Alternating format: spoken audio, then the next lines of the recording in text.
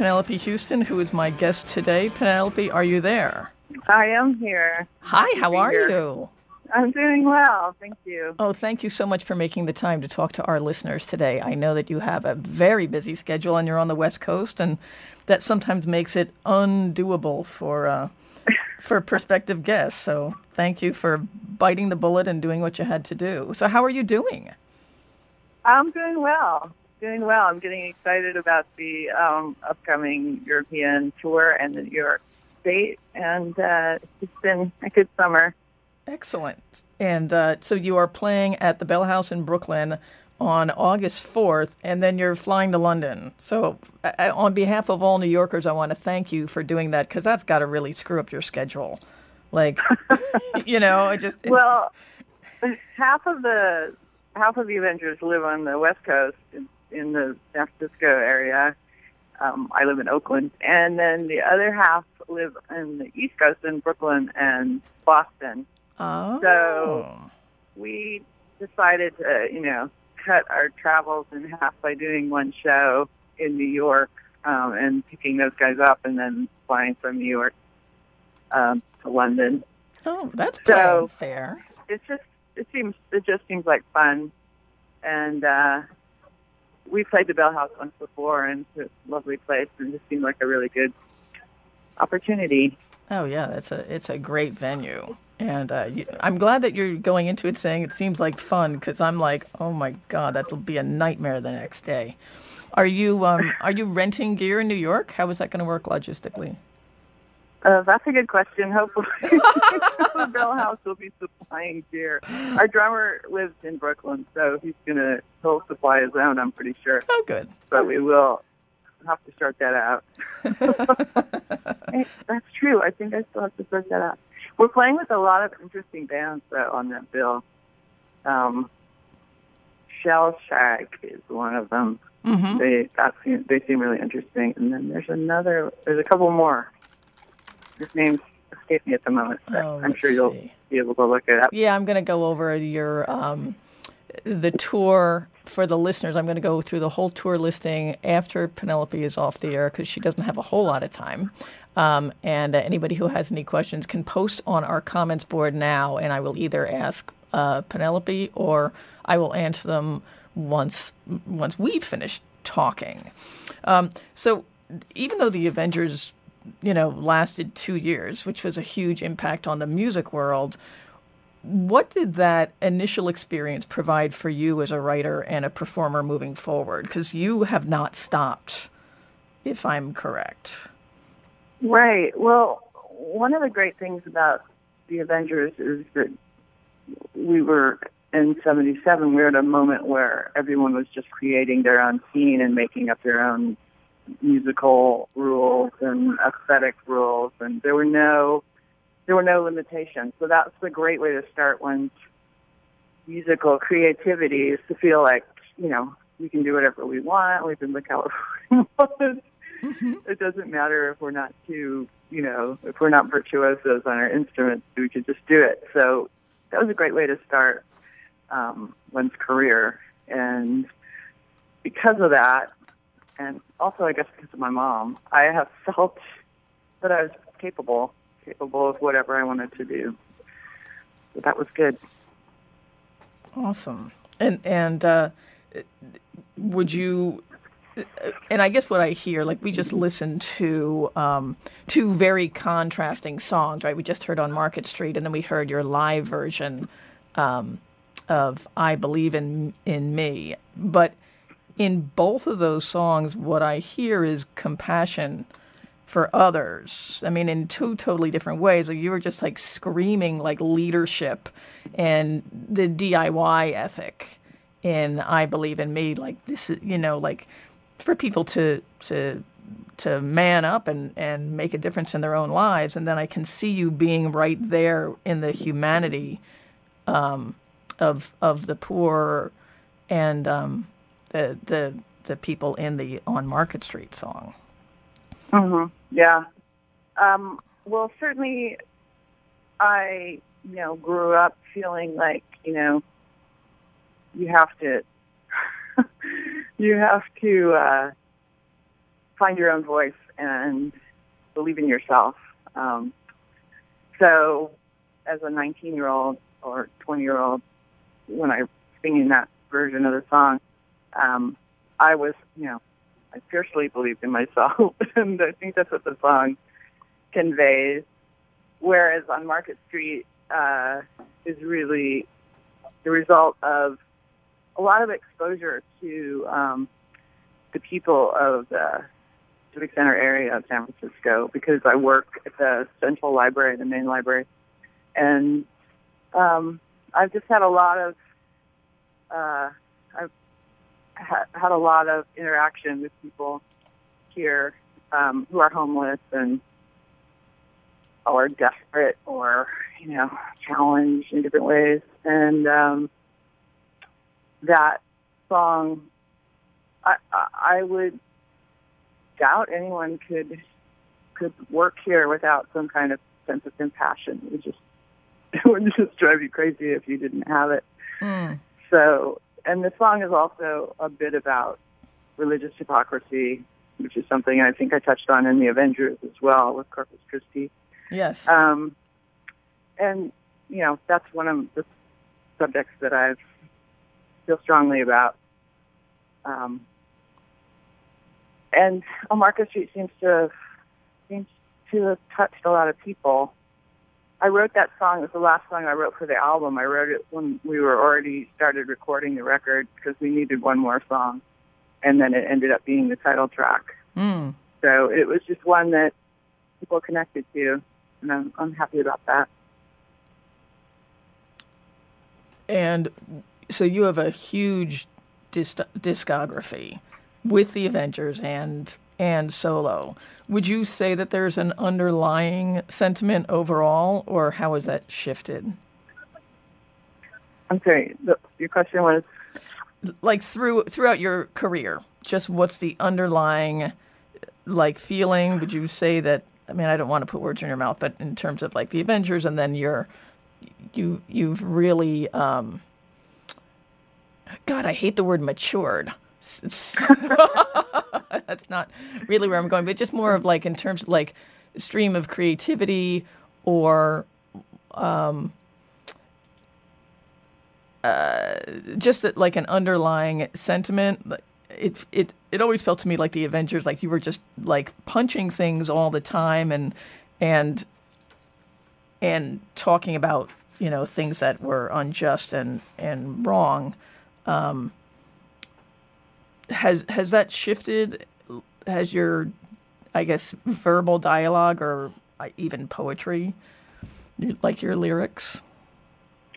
I think that I don't see things as uh, black and white as I used to, but I have to say that doing Avengers um, shows and singing these old songs of mine feels right and feels really good. Uh, a lot of the things I'm singing about in them still are still problems in the in society today, and still need to be addressed and Well- shouted at. So it's kind of funny because uh, I think I've matured in in certain ways, and my songs and lyrics have become more complicated melodically, lyrically, but at the same time that there's this essence of what I was angry about in the Avengers, and it's still um, it's still a situation that needs addressing. So, um, you know, I'll continue to address it. And that uh, could you have imagined? Did you ever imagine in the '70s that you would still be performing Avengers music now? Don't think I imagined anything like past a week or month ahead of time. Right, right, right. I felt like there was a period in my life where I felt like every three years, if I turned around and looked at where I was living, possibly who I was living with, um, what I was doing, it seemed like a 360. It seemed like a total change. But now, looking back on the kind of broader range, uh, it doesn't. I feel kind of like the same person. So um, it it I can't imagine my earlier self saying like, "Who the hell is that?" Um, she's not me or anything. I think and it's hard. Yeah, it's hard to imagine my 19 year old self, but uh, I think I would be sympathetic to my 50 something year old self. Mm-hmm. And then uh, you know, and then it raises the question: Does performing Avengers material from time to time keep that other self current for you? Well, I just was thinking that when you were asking me the question earlier, um, maybe the opportunity to scream and the opportunity to sing Avengers songs and feel this outrage is actually interrupting some current, more subtle outrage I would express in in newer songs. Mm. Um, but I, well, I'm not sure that's true. It's it's really kind of hard to gauge um, how doing this, doing Avengers material affects the kind of things I'm writing today. Mm-hmm. Um, every now and then, I have the Avengers do one of my later songs. Uh, we've played on Borrowed Time, which is on the on Market Street album, and we've also played USSA, which is kind of a punky song. Yeah um, that's on the album. And that song actually was written in the 80s and never got recorded by an earlier acoustic band. Mm. Um, so we just were having fun with that. And that one actually is sort of the punkiest sounding song on the new on the solo record. But um, yeah, and then, then occasionally with my solo band, we do you know Corpus Christi or The American in Me. Not always, but sometimes. Mm-hmm. And it's always kind of interesting. But you know how people have performance nightmares? My my performance nightmare, which has been kind of the same one over the last 20 years, is that I'm on stage and there's a big audience, and then suddenly I look around and I see who's on stage with me, and it's like a weird conglomeration of different lineups of my solo bands and the Avengers, and I'm thinking, oh my God, what song do all these people know? So you don't know what to sing. right. That's great. That's an interesting problem to have in terms of, but you do have to probably be a little bit uh, uh, intentional about about separating the two. Um, I, don't. I, I mean, it, they're kind of naturally separated. So well, I guess that's true. There is no more Avengers writing. Is that true? Yes. Right. People okay. keep saying, you know, how about some new songs? And I, like, I have, you know, 10, 12 albums of new, new right. material. Go listen to that. Right. Go um, catch up. That it, I feel, I would think I would feel a little funny trying to write new Avengers songs. To me, the Avengers songs are what they are, and and um, I'm not sure that I can add to that. Well, it's a different canon. time. It's just a different time, and I think especially you know some of the older quote punk bands can write more music, and it's just about their style. But I think the Avengers were so explosive and so uh, there was just so much spirit in the moment that that I think you're right about that. that you know, yeah. and it's awesome also, that you were playing. Yes. The, also, we wrote as a group. You know, all four of us wrote together, and I mean, I I play now with um, the original guitar player Greg, and I would say he and I were the core of a lot of the songs that got written, but basically we tried to write as a group and although I wrote most of the lyrics, I didn't write all of them. There's a few songs that Danny contributed lyrics to. So I, I don't know. I guess I should, I would feel odd writing something and saying it's an Avengers song without the original four people mm-hmm. as well. Mm-hmm. And um, so your discography post Avengers is probably 10 albums or more. Um, you have uh, your website is penelope.net. Is that where people can um, find all of your music? Yeah, they are able to go on and listen to every single album I've released, except for the two albums that are that were on Warner Brothers. Um, everything else is up there and can be streamed, and the Avengers records are up there as well. So whenever people want to hear it, they can go there. And then, you know, of course, if they want to download or order from you, that's also very sweet. But they can listen to it basically Mm-hmm. for free. Cool.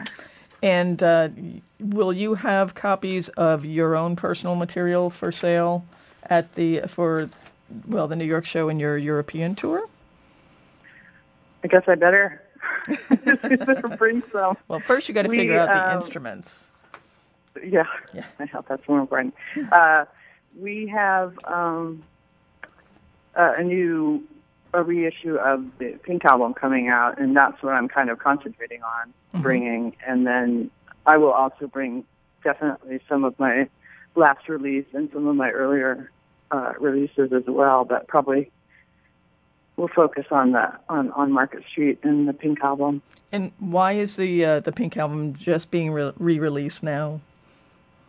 Well, it got re-released three years ago, and that licensing deal ended, and we um, are going with a, a new label, Superior Viaduct, which is a um, San Francisco area-based label, and they're really good at reissues, and they really care. They reissued And- some seven inches for you guys.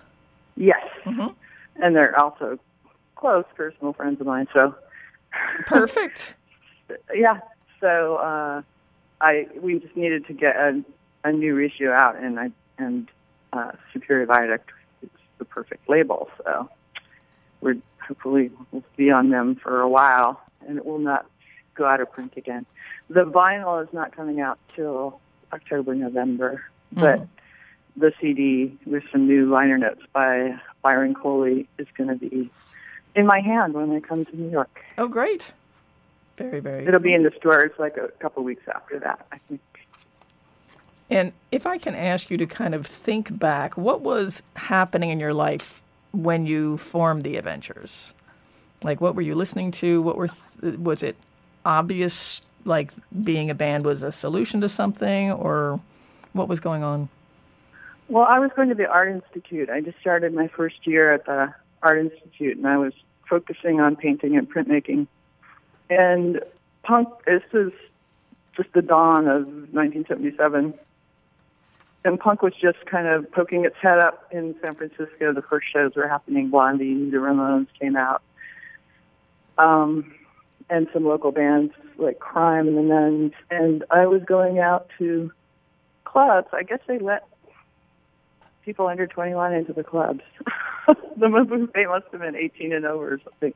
Anyway, I was going there with friends, and um, and one of my friends, Danny, started decided he was starting a band, and I decided I was going to be a singer. I I was listening to Patti Smith. She was a big influence um, prior to the you know the more punk kind of stuff, and I along the lines of feeling like I could do anything, I was like, I'm going to be the singer in your band, Nice. and we just did it. It didn't. There wasn't a lot of planning or forethought. hmm I really had planned to be a, a painter, um, and I was in art school, so everything was going along fine. And then suddenly, I was like, "Hey, I'm going to take a little left turn," Right. and sort of veered off for a long period of my life. And uh, didn't you recently go back to school? I did. Uh, I recently went back to SF State because, of course, I couldn't afford San Francisco Art Institute um, anymore. It's turned into a very expensive private school. Um, I went to SF State and got a BA in, in printmaking and painting. And I painted the picture on the cover of uh, on Market Street. The self-portrait. you have it, yeah, the Yeah. self-portrait, yeah. But that's kind of what I'm into is um, portraiture, figurative painting. And um, on Penelope.net, is any of your artwork up? Or how can, No, how can actually, find your I- artwork? I have a separate website called PenelopeHouston.com Oh, okay. that features all my fine art stuff. Excellent. And and so what is what's your uh, your process like? I mean, do you do you print at home? Do you paint at home? I do paint at home. I have printed at home. It's a, it's a little difficult, Mm-hmm. but uh, but mostly I paint at home. And I have the easel is actually set up in my bedroom. Nice. Oil paint, so it's probably not that great, but I I kind of remove everything. I remove all the wet paint from the room when I'm when I'm not painting. So Mhm. the easel is just huge and it stays there. That's where the best light is in my house. Well, then that's where you have to set it up. Then. That's right. Yeah. Yeah. Absolutely. Um, a, a listener wants to know what's the um, uh, state of San Francisco now. I guess in terms. What's the I guess in terms of what's happening creativity creatively wise and I guess people getting priced out like what's it what's that area like now? Well, it is. It's sad. There's a lot of people getting um, pushed out because of the housing situation and the number of, um, you know, how much money people can make by just flipping their houses over and either selling or renting to um, people in the tech industry, which is really kind of demoralizing. Mhm. But I live in Oakland, just sometimes compared to Brooklyn, and and it's a lot easier. There's a lot more space, and there's kind of a scene happening there. Um, as far as you know, the local music scene, there's still a lot of creativity here. There's still a lot of people. I think what's happened is instead of people saying San Francisco, now they just say Bay Area, and it includes some more affordable towns in the East Bay generally. So, um, but yeah, there's still lots and lots of new bands, and there's punk houses where people play, and there's you know Gilman Street, and there's uh, like electronic music scene happening. Um, lots and lots of regular, normal venues where touring bands come and play. Um, there's, yeah, you can go out and see shows every single night of the week. You've got the energy and time, Cool. money. But um, yeah, it's you know, for me, what I do, I work with a kind of small number of people, and I really only record an album every, I don't know, at the very earliest every four years, but more like getting longer and longer between my albums. Mm. So for me, you know, it's a more insular thing. It's not like I'm playing out all the time.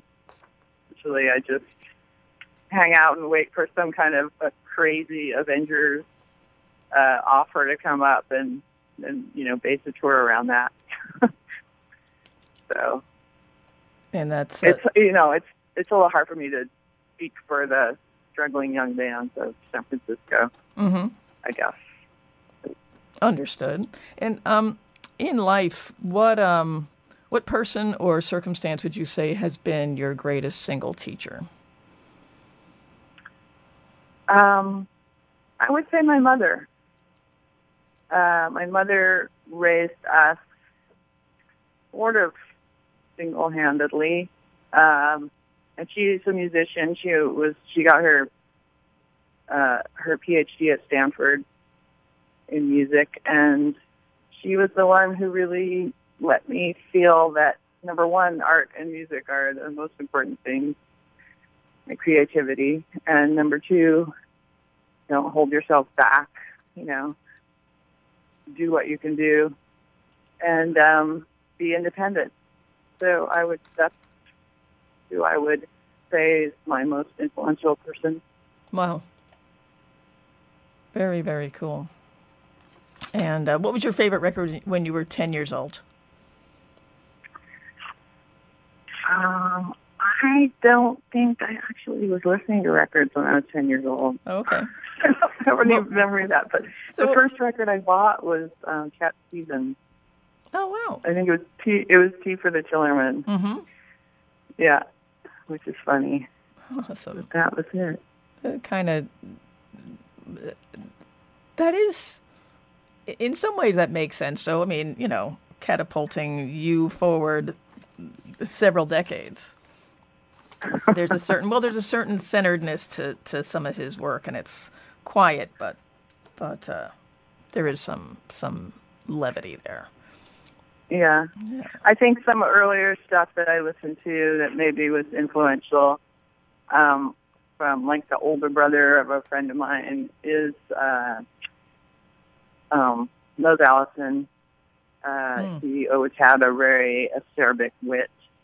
And then um, Bonzo Dog Band, um, uh, who are just totally bonkers, basically. Yes. Yes. And and um, uh, I listen to a lot of um, uh, oh, what are they called? The Incredible String Bands, and uh, that group with oh, my mind's gone blank. Some early English uh, in the '60s kind of folk on the English variety. Pentangle oh right. one of them. Um, and it's weird because then later, when I started to listen to Patti Smith and Lou Reed and uh, their kind of pre-punk stuff, I forgot that I had listened to all this early folk. And there was a point when, with the Avengers, when people, when I told people, they said, "What kind of music is this?" I was telling them it was folk music because we were making our, uh, we were making it up ourselves, and we were performing you know, in little garages to our friends, and it was just people's music for the people Nice. instead of like giant dinosaur rock bands playing giant arenas. Right. Right. And, um, so I felt like you know we had brought punk was bringing music back to people. But I didn't realize at that time when I was joking about it that I was actually end up doing folk music, what people call, what people call folk music Right. later. Right. So it was it was kind of funny. Well, it was a time when there wasn't really hard categories, so you, yeah, you you said you were making it up.